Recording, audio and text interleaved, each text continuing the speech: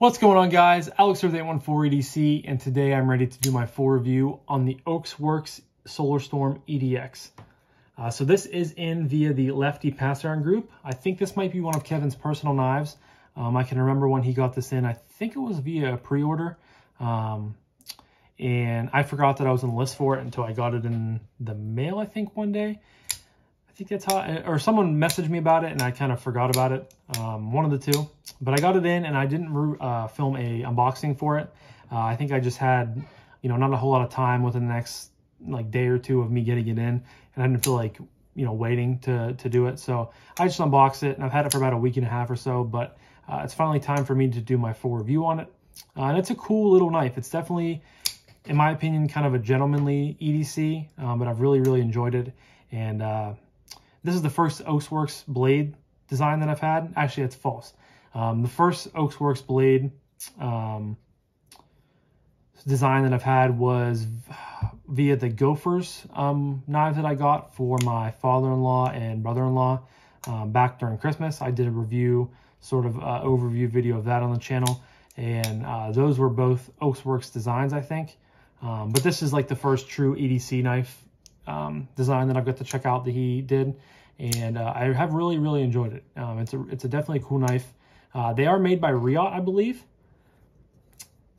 And the, the build quality is very well done. There's a lot of good materials with it.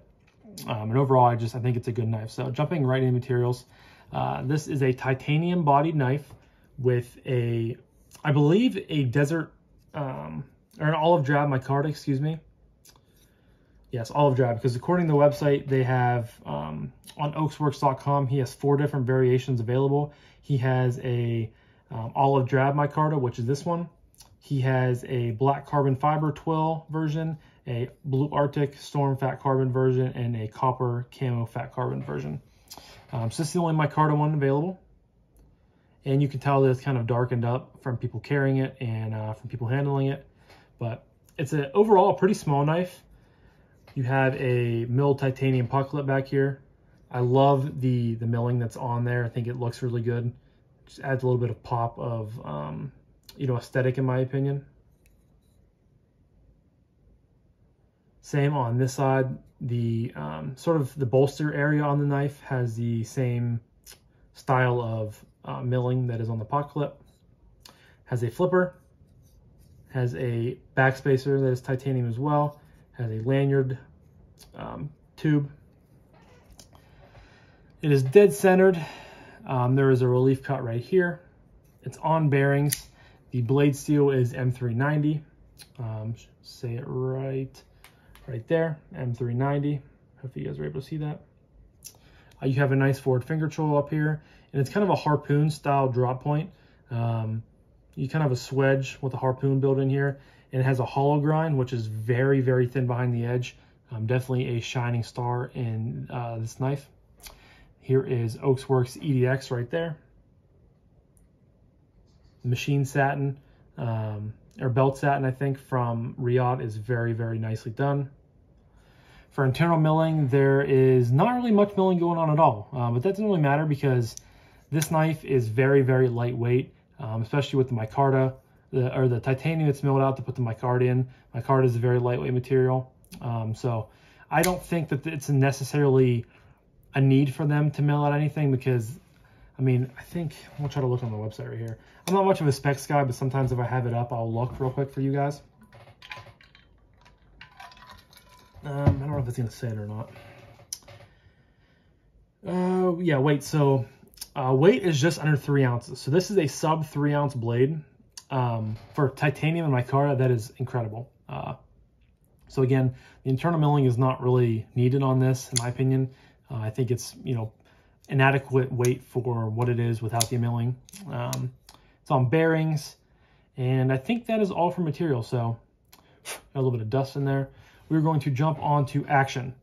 Uh, the flipper tab is kind of stout. It's definitely not super, super pointy or super, super proud of the knife, but it, it works phenomenally well.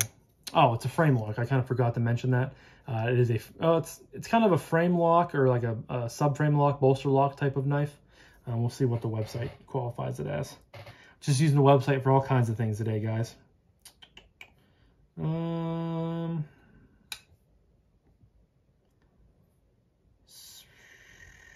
doesn't say on the website, I guess, but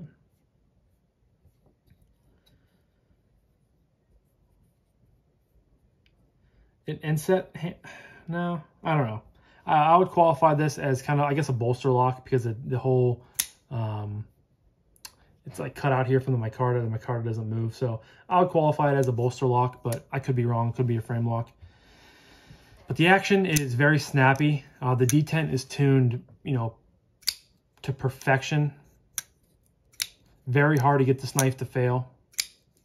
I've tried numerous times. I mean, right there, I, I tried pretty damn hard to be really slow with it. That you can. I mean, if you really push down slow on it, but 99.9% of the time, it's going to fire out. Uh, in the closing action, it's not a guillotine drop shot or anything like that by any means, but um, drops and hits your nail. Well, the, the flipper tab drops and hits your nail, and it just takes a few shakes to close. Or you can go one big shake and it'll close. Uh, and I'm not typically like a flipper only type of guy. I love having like a flipper with a, uh, a hole or thumb studs or uh, a fuller, something that I can middle finger flick with. Um, so I tend to stay away kind of from just a flipper only knife, but I can definitely appreciate a well-tuned flipper only knife. Uh, and I think this definitely qualifies as one because it is, I mean, it's, it's really just fun to play with. It's fun to just continually to do this every single time. Has nice acoustics too. You can get your, just like that, you can get your, uh, if you, excuse me, if you get your thumb out of the way is what I'm trying to say, uh, it'll swing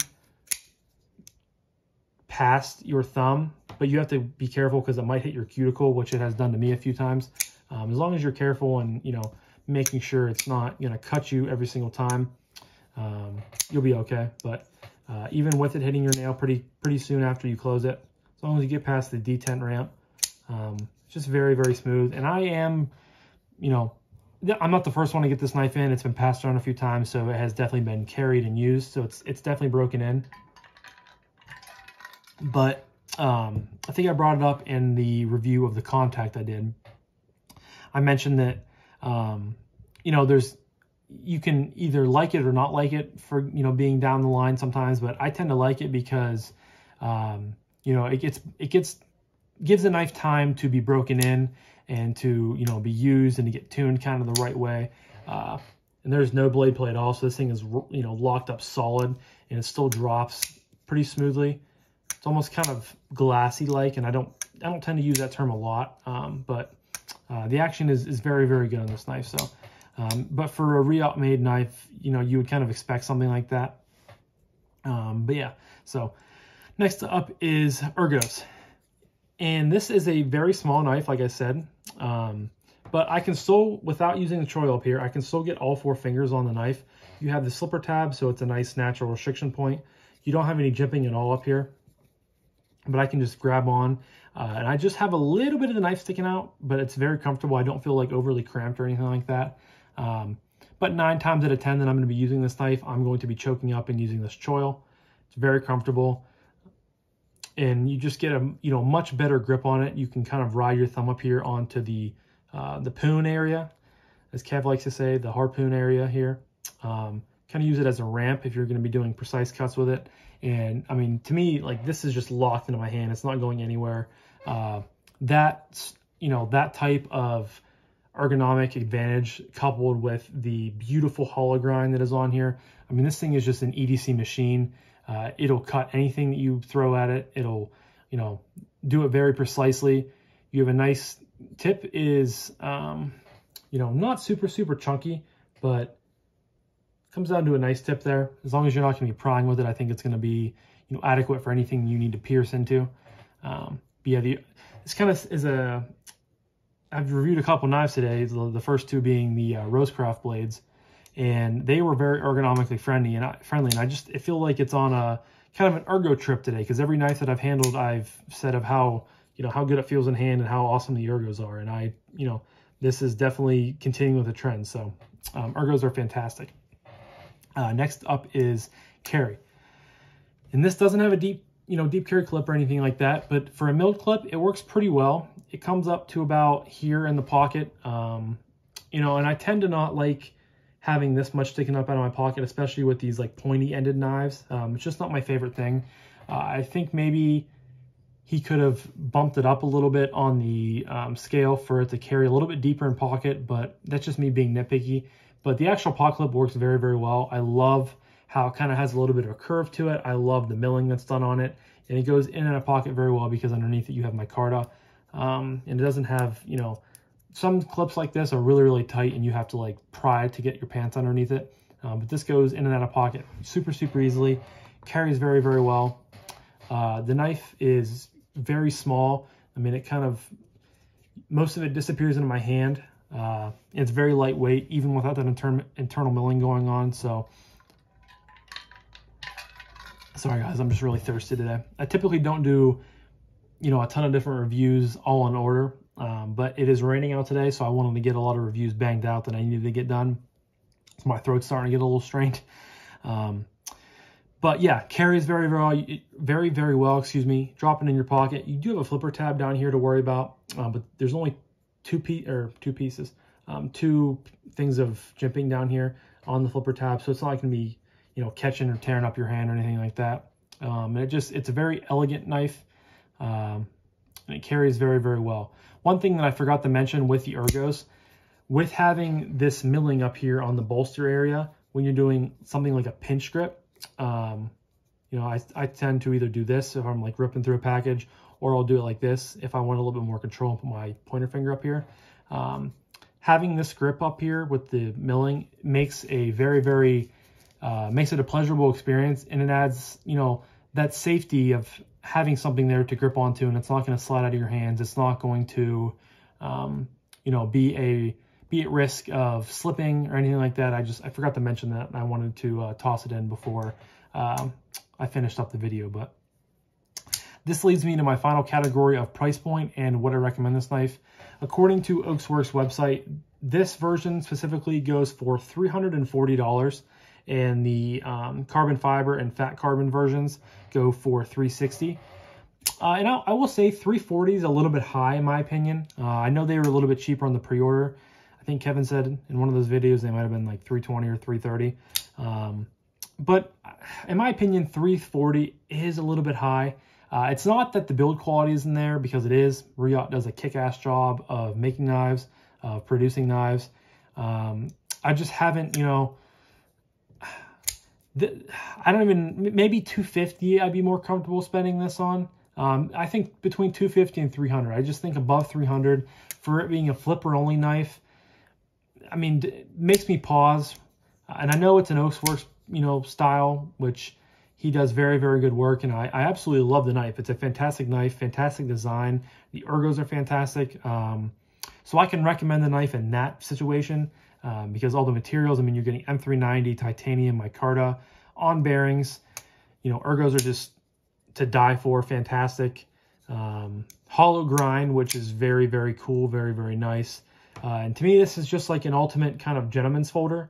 Um, this would definitely be a knife in my collection that I would love to toss in pocket when I'm going out to dinner, uh, going to a wedding, I'm going to church, something like that. Uh, you know, not that it can't handle the, you know, rigors of an EDC knife that people might want to put it through, but uh, to me, it just, it kind of screams like very, very elegant gentleman's folder, very, very elegant EDC knife.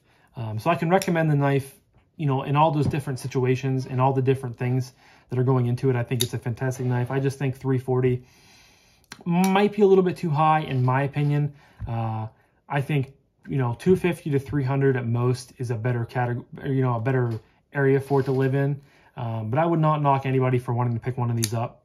Um, I just can't, you know, in my personal opinion, I just, I think three, 340 might be a little bit too high, but, um, you know, it's a very, very nice knife. The action is very, very good. Ergos are good. Materials are good. Everything about it's good. I mean, I think this is a very positive review. Um, but yeah, so that's really all I have today, guys. I uh, hope I was able to give a um, good, you know, my good thoughts and opinions on this knife. If you're interested in it, I will leave a link down below to Ochs Worx style blade. I don't know why I keep saying style. I kept saying that for Rosecraft style blades too. For Ochs Worx website, um, according to the website, this specific you know variant there are four available. Um, so if you see this video and you're kind of interested in one, definitely go check this one out because um, there are you know very few left. But um, yeah, I really enjoyed having this in. This is my first Ochs Worx um, design that I've checked out as an EDC knife. And uh, yeah, I'm glad Kevin offered it up to some of us to check out. So thank you, Kev, if you're watching this. But um, yeah, that's going to be it for today, guys. Uh, I greatly appreciate each and every one of you, you know, tuning in and checking out my stuff every time I post.